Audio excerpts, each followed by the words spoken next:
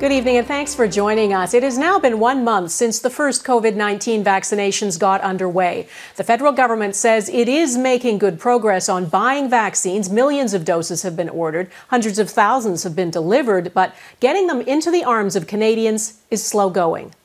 According to the University of Toronto's vaccine tracker, as of the last night, roughly 420,000 doses had been administered. That works out to just over 1% of the Canadian population. It is up to the provinces to administer them, and some premiers say they don't have enough doses. Some regions are now delaying giving the required second dose so they can get the first shot into as many people as possible. Abigail Bimman has our top story on the push to pick up the pace.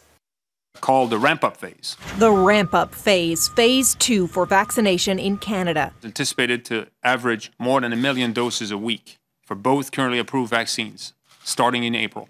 But right now, in the much slower phase one, some provinces are critical of the rollout as they run out, even with more doses coming in. Alberta Premier Jason Kenney putting it bluntly we need more shipments of vaccines now. We're relying on the federal government to do its uh, best to make sure that we have uh, product here. That scarcity is still a challenge. And again, I'm not, I'm not throwing any rocks here. Both things can be true. There may be a modest supply of vaccine and vaccine not moving quickly enough going uh, that, that's going out. And with the modest supply, Quebec has been under fire for not committing to the second dose timeline recommended by the manufacturers. 21 days for Pfizer BioNTech, 28 for Moderna. Thursday, the province made a new promise. Our expert recommend that the second dose of the vaccine be given between 42 and 90 days.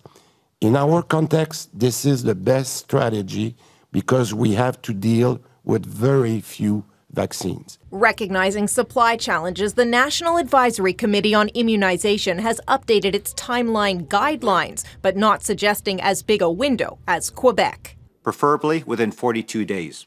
But I would like to emphasize that NACI's core recommendation is that the complete two-dose vaccination series follow the authorized schedules. The Johnson & Johnson vaccine only needs one dose and this week the company said it's on track to roll it out by March, but no word yet from Ottawa about how close regulators are to approving it or the AstraZeneca vaccine.